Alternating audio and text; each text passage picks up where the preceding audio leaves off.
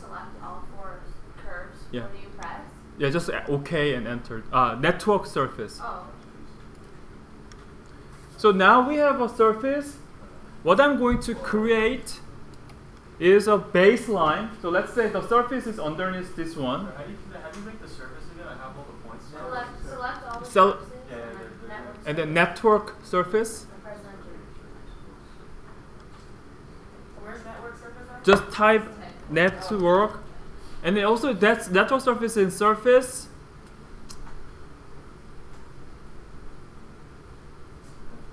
Uh, there's no network surface here. So just simply type network surface. And then I just create any four, just simple, very simple rectangular surface plane. And I will, using move, I will locate somewhere higher point where this one is basically work as your ceiling. And what I'm going to do is I will create a line which is from polyline. Are you still recording? Excuse me. Yeah, recording it. Yes. Yes. Yes. So I'll create simply a line from one point on a surface, and then I will make a something long, longer line that go through, go through above the surface. Using shift to draw a straight line. This is just a line tool? Yes, this is a line using this one, this tool. So basically, this is your wire.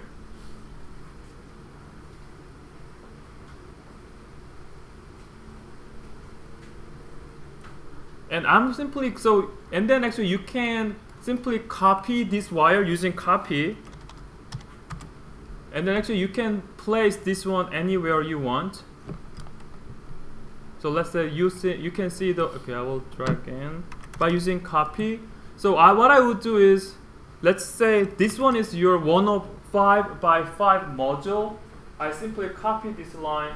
Where do you want to contact the module and the circuit? Let's say this one is your fish, and here's the ceiling. I simply connect maybe four of them.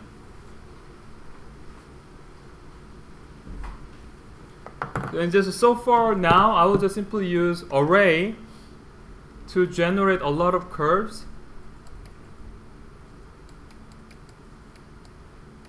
Uh, actually, I'll move this one to, instead of using this, I will use the lower left corner here. So I simply draw here and draw a long line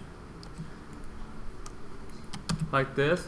And I will populate a lot of curves using array. For your case, you can just simply copy all these curves where the, the module needed.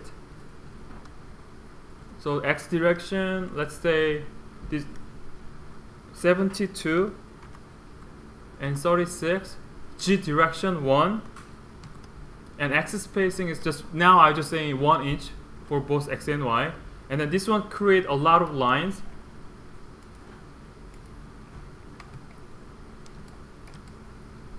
So what you are going to do is actually you are going to split these curves. So first of all, we want we need to uh, split the t- we want we need to remove the top part. So I'm using oh I was okay again. How do you array? So array type I array. Uh, before select the curve first and type array later. You can reverse the order. You can type array first and select the geometry later.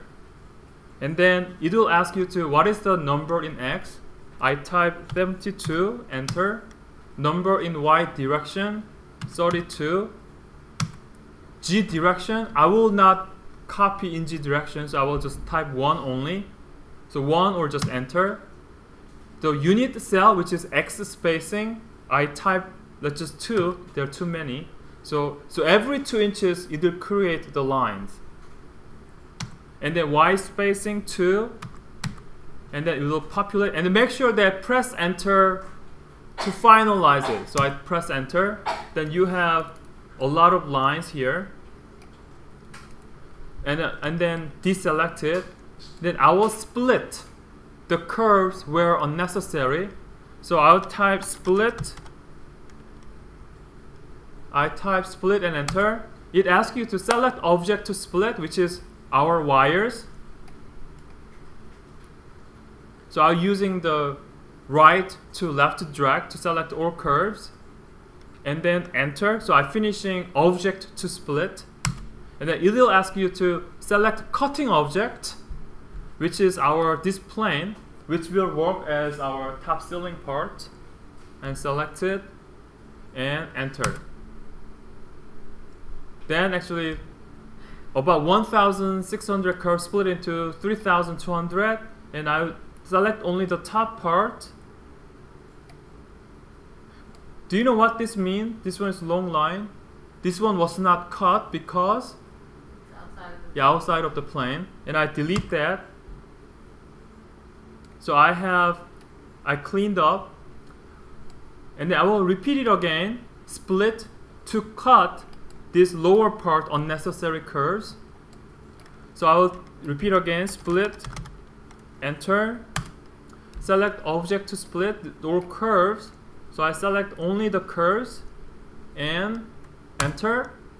Select cutting object is actually our surface. And then I will select surface, not the curve. To uh, make sure that you select the right one when the Rhino gives you an option. So I select surface and enter. So this one is all splitted. So let's see how does it look like. So before that, we don't need uh, this kind of curves. We don't need this one, so I delete them. Also, we don't need these curves, so delete that. So let's select this part, the top part, and I hide it. And actually, there's a curves on the or upper part. We don't need these curves, so I just simply delete all these curves actually. And I will show our my original curves. Then we have all bearing curves, which is actually precisely locating your curves on the surface. So this is the curve you need to. And then for each curve, you can simply measure the length of it.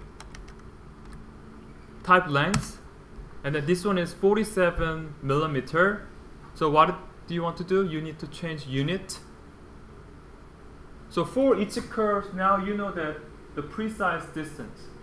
So you can just simply cut it, and then if you just hang it, then actually it's almost exactly. You're just kind of creating this one.